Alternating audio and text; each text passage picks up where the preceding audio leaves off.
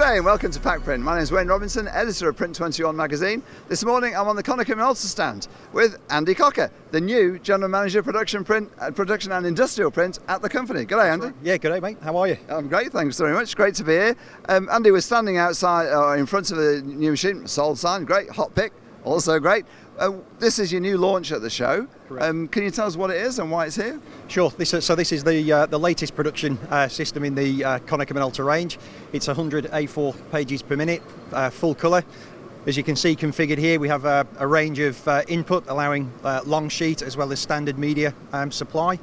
Um, the inline um, IQ uh, quality control system, which allows customers to guarantee registration, colour density, um, and full colour control, all automated. Um, and uh, as you can see, then a high cap stacker. Yeah. We've got a range of finishing options around the the, Yeah. uh, the, the, whole stand, Yeah. uh, which are all sort of interchangeable. So it's not one shoe size fits all. Yeah. And we can absolutely tailor a solution to uh, to meet the relevant. Okay, so it's basically needs. a customised machine to meet the the needs. Perhaps you can tell us a little bit more about the IQ system because I've seen the quality of this machine, which has been uh, fantastic. Yep. And what you're saying is that's kind of controlled inside the machine. It is. So it's it's fully automated. It's checking uh, sheet size, color density. Um, barcodes, you, ensuring that the uh, you know the, the, the quality is maintained at, um, at, at optimum level at all time. Yeah. And who is this uh, system, the AccurioPress C7100? Who is it aimed at? Who's going to be interested in buying it for their print plan? Look, it's really anyone sort of mid to high volume, um, you know, production sites. Okay. Um, you're looking at, uh, you know, white sheet in, fully f- fully finished documents Yeah. um, out. Again, automation, uh, reducing touch points. Um, you know, it's it's where you're sort of you're, you're stepping up from maybe a um, you know, an 80, 70, 80 page a minute where your volume's starting to increase. Yeah. Wider application uh, range for Yeah. customers. Then it's, it's sort of like the next the next step up, if you like.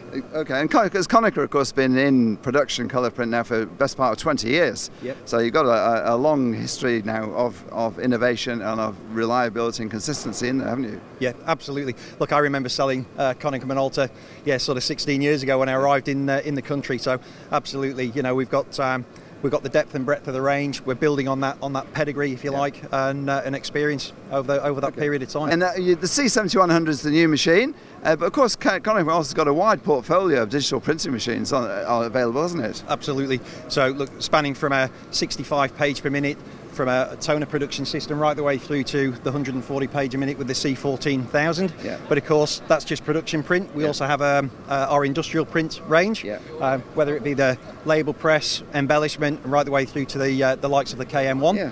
um, which is obviously a B2 um, sheet fed inkjet system. Yeah, okay. Um, and again, just really diversifying and opening up the uh, the, the applications uh, and range for, for our customers. And, and with the label press, the AccurioLabel 230, um, labels obviously is an area of opportunity for print businesses of all kinds to get into, isn't it? Yeah, I think um, you know we're starting to see short-run personalised um, labels. Like it's the same story. People want they're, they're placing more orders, but you know uh, more frequently with, Yeah. with, with less volume. So you're really having to start tail- controlling and tailoring um, towards that short-run print on demand. And whether it, yeah, labels, brochures, you, Yeah. you name it, it, it, it's affecting all areas of the of the business. But labels in particular is a is a good growth a good area, for us. And what do you sell the, to the AccurioLabel 230 on? Why would someone buy that machine?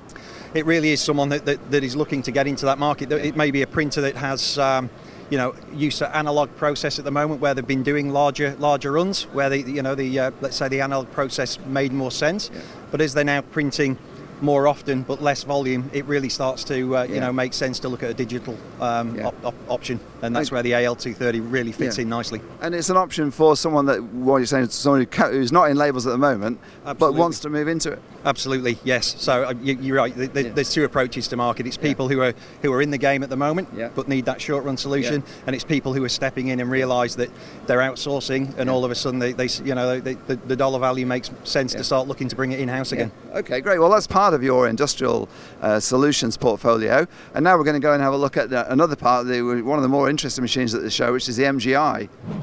Great, so here we are in front of the MGI machine, uh, the, with the Jet Varnish 3D1, as it's known. Um, this gives opportunities for printers to give much more than just putting toner on paper, doesn't it?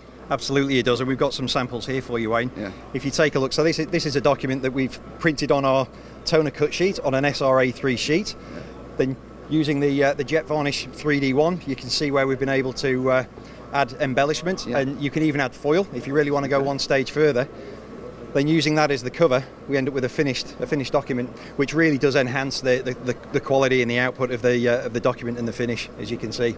Um, this application alone this week has had some real interest Yeah. and uh, you know sparked some uh, yeah some real interesting discussions with our with our customers. I imagine so because it makes the print stand out. It's beautiful. It's, it's engaging. All the things that print needs to be in in the multi-competitive world of media communications. Absolutely, Um, yeah, it- bit, bit more touchy feely. Yeah. Listen, thanks so much for talking with us. That's all right. Uh, Andy, it's been, been fantastic to get a bit of an insight into the Konica Minolta. Yep, no, that's fantastic. Anytime. You know, we're, uh, um, you know, we've, like I say, we're, we're having some great success. I'm really looking forward to the role, building the uh, building the team, and really building the interest in, in, in this, which is also, you know, seen as a, a real growing market for us. Yeah, well, and it's great to see Konica Minolta investing so much in the industry. It's a huge company. It can spend its money in a lot of different areas, but it's obviously spending a lot of money in the printing industry with uh, with all its development here. No, that's right. Yeah, and it's, uh, you know, it's only going to get better from here. Yeah, okay. Well, that's great to hear. Andy, thanks so much for your time. Uh, this is Wayne Robinson on the Konica Minolta stand for Print 21 at PacPrint, signing off.